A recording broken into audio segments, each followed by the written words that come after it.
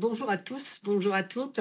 Merci de me faire l'honneur d'ouvrir euh, cette séance d'Octobre Rose et de me donner la fierté de faire connaître à tous, nos, à tous nos engagements, les engagements de nos médecins, les engagements de nos équipes, de nos soignants euh, et euh, sur la prévention du cancer du sein.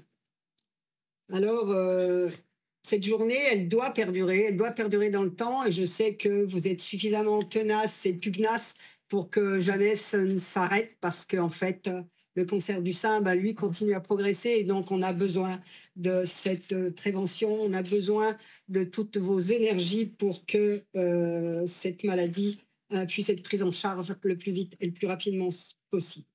Donc, merci donc de vous battre. Merci à tous ceux qui vous aident à vous battre aussi, parce que dans le quotidien, il faut aider ceux qui se battent pour ce, contre cette maladie. Alors la campagne cette année a démarré euh, rapidement chez tout le monde ou à peu près partout dans tous les départements. Mais c'est vrai que vous et les associations être quasiment partout dans la, France entière et que euh, c'est répondre présent est quand même une grande force pour nous tous. Et euh, c'est vrai que euh, la mobilisation contre le cancer du sein est la meilleure des mobilisations euh, et la meilleure prévention qui est faite en France. Alors peut-être parce que vous êtes des femmes et que, comme chacun sait, excusez-moi messieurs, on est presque parfaite et qu'on lâche jamais rien. Et que donc, sur le cancer du sein, je sais que vous ne lâchez rien, alors que sur d'autres cancers, la prévention se fait beaucoup, beaucoup moins bien. Et c'est dommage.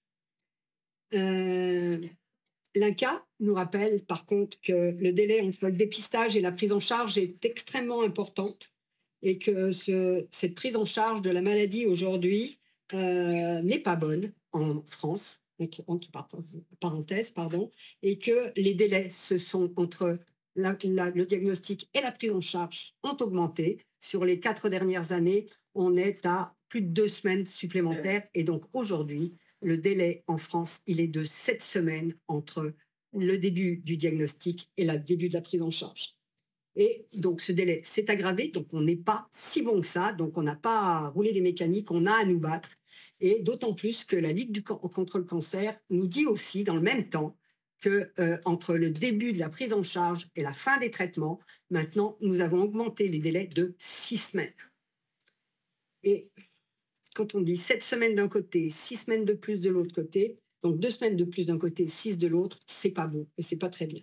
Et dans le même temps, on a une étude américaine euh, qui est en moins d'un an, qui a été faite sur 300 000 cancers. Donc les États-Unis sont toujours capables de faire des choses extraordinaires, hein, parce que sur un panel de 300 000 personnes, on s'aperçoit que la prise en charge du cancer euh, devrait être de quatre semaines et qu'ils estiment sur leur, 300 000, euh, sur 300 000 personnes qu'ils ont étudiées qu'une semaine de plus sur un cancer du sein, c'est 1,5% de mortalité supplémentaire par semaine.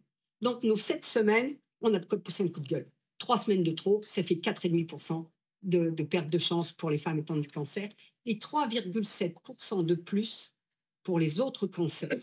Donc, aujourd'hui, euh, il faut continuer à se battre il faut se battre, battre de plus en plus sur le problème des délais et que, en fait, nous ne pourrons pas baisser les bras et jamais les baisser. Vous savez que le cancer du sein augmente, que si on augmente en plus les délais, on aura des moins bons pronostics et des moins bons résultats.